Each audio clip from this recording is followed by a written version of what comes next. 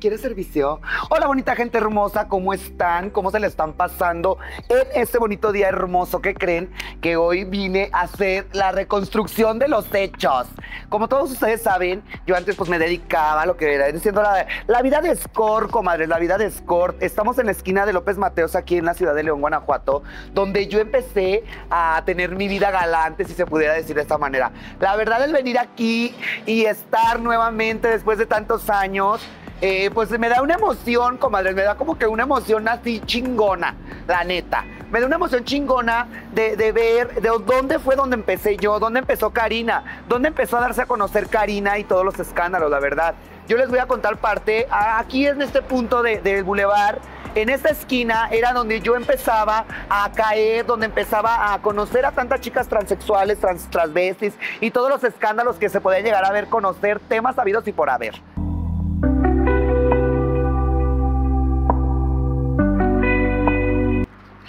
Así es esto, chicas. La verdad, el venir aquí y estar nuevamente parada.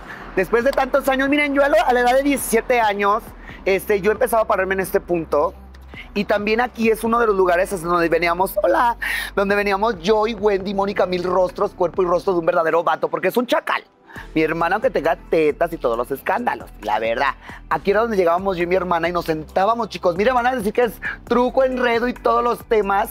Y aquí llegábamos siempre que veníamos, nosotras bien perras de trabajar en la estética con su tía Vero. Nos veníamos caminando por todo, por todo el bulevar, eh, donde está aquí el, el, el, ay, ¿cómo se llama? El Poliforum. Y nos veníamos caminando siempre para llegar a este punto. Llegábamos como eso de las 10, 11 de la noche, yo y Wendy de trabajar de la estética y nos sentábamos aquí bien perras. Nosotras que a talonear cotas. Déjenme les platique que nada más veníamos a ver qué cachucha nos metíamos. Porque, pues, la verdad, hermanas, una chiquilla. Lo único que quería una era cotorrear, que los viejos te llevaran, te, invitaran el cotorreo y todo ese tipo de escándalos, la verdad. Y aquí, aquí precisamente siempre llegábamos y nos amachábamos. Nos sentábamos, ya de, ratito llegaban varias chicas de, del ambiente y se paraba unas allá, otras en la otra esquina y se empezaba a hacer el cotorreo, comadres. Hagan de cuenta que era como que la reunión de todas las hochis en el punto de talón. López Mateo, zona de tolerancia, León, Guanajuato. y acá, miren, miren, los invito para acá. Ay, ya me emocionó toda la verdad. Les voy a mostrar ahorita dónde era la jaula de las locas. Era un antro muy conocido aquí en León, Guanajuato muy padre, muy padre, un, un, antro bien reconocido aquí en León, Guanajuato, donde toda la mayoría de las chicas transvestis, trans, transexuales y todo este tipo de escándalos nos metíamos a ese antro a convivir. Había un ambiente súper padre, les voy a confesar que siempre hubo un ambiente muy padre, donde había imitadoras, este, a todo tipo de imitadoras, Lucha Villa, este, Gloria Trevi, Alejandra Guzmán, a las que les mando un saludote a todas mis hermanas de verdad, a Chaos, a Jessie, a Patti, a, a la Charlenca, todas esas chicas. Eh, era un escándalo a toda madre, como les voy a mostrar dónde era antes la amada. Aquí, aquí precisamente, en este, en este lugar, era donde cada fin de semana, jueves, viernes, sábados y domingos, este, veníamos a convivir, veníamos a, a empezar a echar despapaya y todos los grandes temas. ¿Y qué creen, comadre? Aquí era la entrada de la famosísima Madame Disco Club. Sí, la famosísima Madame Disco Club, comadre. Les voy a decir por qué, miren. Porque hace muchos años Aquí era el único lugar donde podían dejar, dejar entrar a las personas de nuestro ambiente este, transformadas o, vestidas realmente como todas unas rucas. Yo a la edad de 17 años, comadres, pues la neta no me dejaban entrar, todavía no tenía la que vale. Aún me decían que parecía un chiquillo maquillado, menor de edad. Y pues obviamente me pedían credencial de lector y pues yo siempre tenía que estarme parada aquí afuera esperando a mi amiga Lucero Nava en paz descanse. Siempre me traía y siempre me decía, aquí espérame, Jotillo, ahorita que salga, ahorita te traigo un refresquito y puros trucos, comadres hasta que obviamente pasó el tiempo y pues ya tuve que sacar la credencial, por primera vez entré, era uno de los lugares donde realmente nada más dejaban entrar a las puras chicas transvestis, transexuales o transgéneros que había aquí en León, Guanajuato. De ahí a más ahorita ya ha ido mucha, mucha, mucho, mucha revolución en otros antros donde ya se pueden entrar varias personas, este, que ya te puedes accesar eh, siendo una chica del ambiente trans, transvesti o lo que quieras, comadre. Aquí ya está en un edificio, obviamente ya nada más quedaron las ruinas, pero fíjense cómo está aquí todavía. Aquí se paraban todos los chicos, los de los vigilantes, los gorilones que nunca nos dejaban entrar, siempre aquí parados y nosotras bien atacadas. Nunca nos dejaban entrar. Una vez, chicas, estaba yo parada. Había, había mucho antes eh, en este ambiente, eh, como que el, pleito, los problemas, este, los, entre, los entre el mismo ambiente, perdón, que llegaban jotas bien pasadas de locas y, que ya te querían dar media hora de su karate, cinta negra, mamacitas. Una vez aquí a mí me quitaron una peluca de mi amiga Lucero Nava y me dejaron pelona aquí afuera del antro donde era la madame, la jaula de las locas. Y así es, chicas, así es, comadres. Todo ese fue el principio de la vida de Karina. La vida de Karina en el ambiente, en el escándalo, en el joterío, en el truco, en todos los así you. ¿Qué creen? Les voy a contar algo así bien chistoso. Bueno, chistoso para mis inicios, comadres. Porque ya les estaba platicando ahorita parte de, ¿no? Una vez yo estaba muy perra en esquina, este, pues haciéndome pendeja, comadres, porque les voy a decir una cosa. Yo cuando venía y me paraba aquí, nada más era para andar de cachuchera junto con Wendy. ¿Qué tiene Wendy? Que digan que somos unas cachucheras, hermanas. Así iniciamos nosotras en el ambiente, siendo cachucheras. Y una vez estaba yo en esquina muy perra parada. Miren, comadres, no la, no me la creí ese día. No me la creí estaba allí, llega un señor alto, así hermoso, güero, así, así rico, rico, rico, rico. Y de repente me dice, ¿cuánto cobras así? Pero como que no habla mucho español. Y yo nada más como con señas tipo mimo, ¿no? Ay, pues tanto y así hasta. El chico era un italiano hermoso, de verdad. Y este día dije, ¿será acaso que triunfe en la prostitución?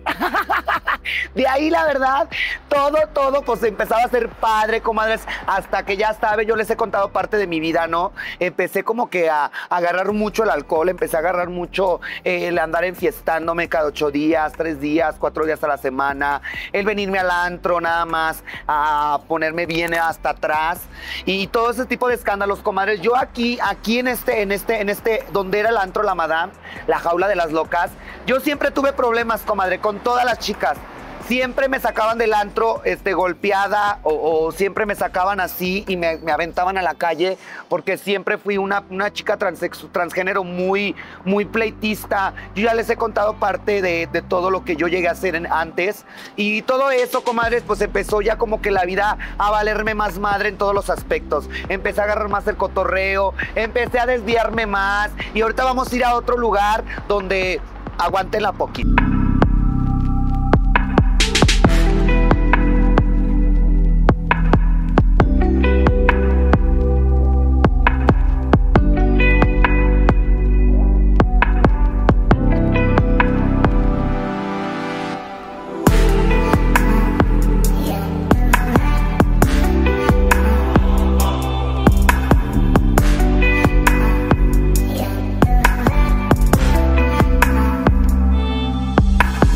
Pues así pasa, chicas. Miren, ahorita les estaba comentando parte, parte de mi vida cuando yo inicié, que fue por, obviamente fue por igual, eh, nada más hacer desmadre, por andar cotorreando, por darme a conocer en el ambiente, chicas. Pero aquí ya es una de las zonas en León donde es eh, el Parque Hidalgo, la zona de tolerancia donde antes este, yo también llegaba aquí a pararme muchas, muchas, muchas veces, ya saben, hermanas, a vender el cuerpo, a, venir a sacar el poquis, obviamente ya era por necesidad, comadres. Ya no era tanto como que por, por querer este, buscar amistades o darme a conocer, porque ya estaba bien quemada. Yo ya de allá yo ya venía bien quemada.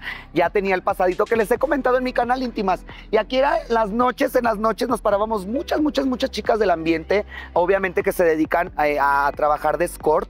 Y aquí en León, obviamente, es una falta el que una este, agarre una, un lugar público, comadres, a, vender el cuerpo. No, no, eran unas corretizas a veces lo que nos llevaba la patrulla, nos, nos, nos subían y que ya van directamente a la juguetería y puros trucos y puros escándalos, la neta. Pero también les voy a contar parte íntimas que también en el ambiente, este, siendo escort, al menos en mí, sí te arriesgas mucho, te arriesgas demasiado, te arriesgas y te expones tu vida, sobre todo porque a mí a veces me tocaban clientes de verdad que, que eran muy posesivos, que eran, que eran unos, unos clientes que de verdad a veces hasta te querían pegar de la nada, comadres, porque yo sí llegué a tener esas experiencias este, de, varios chicos este, que, que llegaban y, y obviamente a, a, contratar mis servicios y ya estando dentro del cuarto, este, cuando nos íbamos y me ocupaba con él, este, a mí me llegó a pasar varias veces con chicos que llegaban hasta, hasta tener la, la, pistolita o a veces empezaban a, a, ofenderme de la nada, comadres. Todo ese tipo de cosas, créanme, que, que, todo eso lo tenía que aguantar por necesidad, porque yo me sostenía económicamente de, trabajar de escort. Es una vida este, que, que, no, no tiene nada de malo, tiene años, tiene años, pero, pero sí, sí, sí se expone una demasiado, comadres, se expone una demasiado. Y aparte, lo bueno, lo bueno, lo bueno, que aquí ya era, otro, ya era otra onda, comadres, porque aquí todas las que nos parábamos en esta zona, todas las jotas que nos parábamos en esta zona, nos hacíamos el paro unas a las otras en cuanto mirábamos cualquier cosa. Hagan de cuenta que éramos como el escuadrón de protección. Así de Andrés, de la verdad, hermana. Éramos como el escuadrón de protección, porque si empezábamos a ver que un cliente se ponía rejego con una, entre todas nos dejábamos ir con él, con el cliente, sobres y darle puras cachetadas y hacer puro escándalo, comadres. Una vez andaba por aquí con mi amiga Tania, la que le mando un saludote a mi amiga Tania íntima y todos los escándalos, y estábamos paradas y de repente llega un cliente así bien perrito y empezó a ofendernos, a decirnos bien hartas cosas, que nosotros que sabe qué tanto y que sabe qué tanto, pues llegamos y la Jota que lo corretea, mamacita, que lo corretea. Pero aquí es una zona donde sí, comadre, les voy a decir algo. Aquí llegaban los clientes en la noche y te preguntan, oye, mija, ¿cuánto cobras? Y pues ya te checan, hermana, la mercancía. Ay, te puedes dar una vueltita, no sé, así algo rico. Y pues había como de todo. Clientes buena onda, clientes pasaditos de loco, clientes que la verdad hasta te, te, te, hacían masajitos, porque yo sí llegué a tener varios clientecitos de esos, la verdad.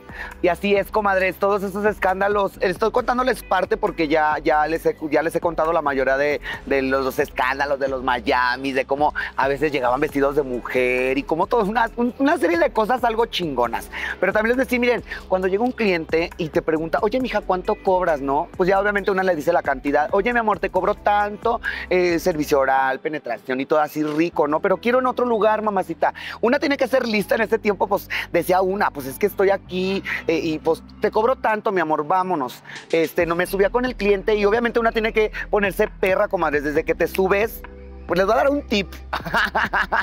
Desde que te subes, obviamente tenías que cobrarle primero eh, tanto. Pues ya, chicas, una se sube en perra en segura. En segura, mamacita. A mí lo que siempre me, se me quedó en la cara, en la cabeza grabada, en la cara yo bien pendeja, en la cabeza grabada, era de que me decían las chicas, en cuanto te subas a un carro, cobras.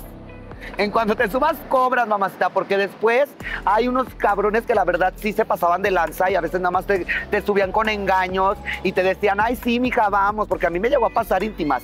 A mí me llegó a pasar este, varias veces eh, y contadas, no les puedo decir cuántas, pero sí fueron muchas, donde me subía y, y ya al momento de llegar en el hotel ya decían, ay, no, es que no tengo para pagarte. Y ya tú decías, ¿cómo? Pues ya venimos desde allá hasta acá, luego cómo me regreso y cosas así, ¿no? Y, todo eso, amigas, esto, yo me ponía lista, decía, no, yo desde que me suba tengo que decirles tanto, a mí me pagan, mi amor, por favor. Y tener, saber qué intera y, este, interactuar con el viejo, porque de repente se ponían también en su plan. Es como todo, comadres. Había chicos educados que llegaban hasta, sí, mi amor, vamos, hasta ni te preguntaban cuánto cobrabas, nada más te decían, claro, ocupo de tus servicios, vamos, ¿no? Y todo ese tipo de escándalos comadre, llegar al hotel eh, y empezar a desnudarte como todo, ¿no? Ay, mi amor, pues claro, me pagas tanto y pues igual si quieres a otra cosa, besos, caricias, abrazos, pues ya es una propinita, bebé. Algunos, algunos te la daban y otros no, comadres. Pero así se pasa, así pasa todo esta, en esto de este ambiente de, de, la prostitución, comadres, como ven. Eso es parte, íntimas, es parte eh, de, de, lo que yo, de lo que como fueron mis inicios, en donde yo acabé, acabé la vida eh, en ese ambiente, comadres, no les voy a decir que yo ya, no, jamás. Sigo siendo la misma chiquilla atrevida, espontánea, y que, y que la verdad fue una etapa de mi vida que llegué a vivir y que no me arrepiento, la verdad. No me arrepiento el haber vivido todo porque de ahí conocí personas muy buenas. También tuve amistades de Monterrey, amistades de Sinaloa, este, chicas transgéneros este, que venían aquí a la ciudad de León, Guanajuato a trabajar y que yo las veo, amigas, y ellas este, trabajan por medio de red social o, trabajan en la calle o trabajan en dos, tres lados. Lo que sí, lo que sí es muy difícil, el, el, el que más miedo me daba a mí trabajar en, en el ambiente de, de, siendo de una vida escort era la policía, comadres, porque a veces encerraban 36 horas, a veces durabas 24 horas, o a veces este, tú ibas llegando, o, a veces no ganabas ni un peso, en cuanto llegabas te trepaban y ya te ibas y el día ya salía, ya valía madre todo, la verdad.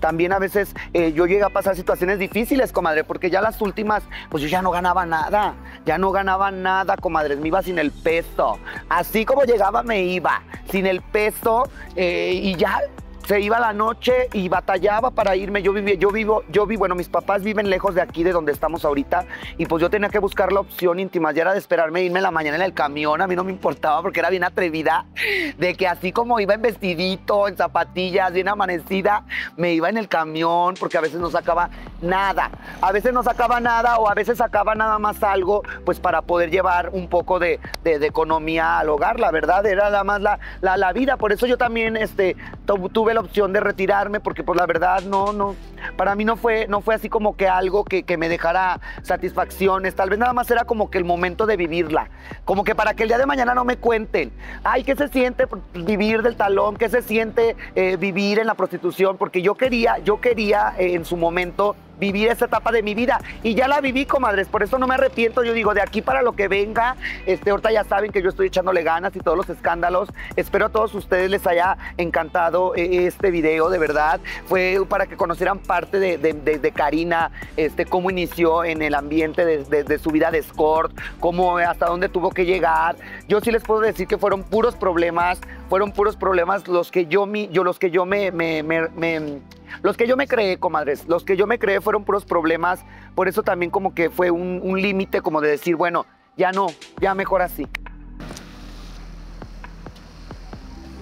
Hermosa gente, pues aquí está el final de este bonito video para todos ustedes. Espero que, se hayan divertido tanto como yo me divertí. La verdad, el volver a pararme en los lugares donde yo empecé, en todo, en todo, en, mis el ambiente del transvestismo, en cómo me empecé a dar a conocer, en cómo empecé a conocer muchas amistades que hasta hoy en día este, pues sigo teniendo. Y el ver, comadres, que, que todo es parte de la vida, que no pasa nada que independientemente de la vida que yo haya, que yo haya decidido en su momento querer haberla tomado y el que hoy esté retomando mi vida no, normal, eso no me hace ser menos ni me hace ser diferente a nadie. Al contrario, me ha ayudado a, creer más en donde he estado y donde voy a estar si Dios quiere. Así es, íntimas. Este, muchísimas gracias a todos ustedes por ver este videíto que fue con todo el cariño para todos ustedes y también sobre todo gracias a Chulada MX por haberme apoyado para poder hacer este, este, este bonito, este bonito recorrido eh, de mi vida en un hermoso video.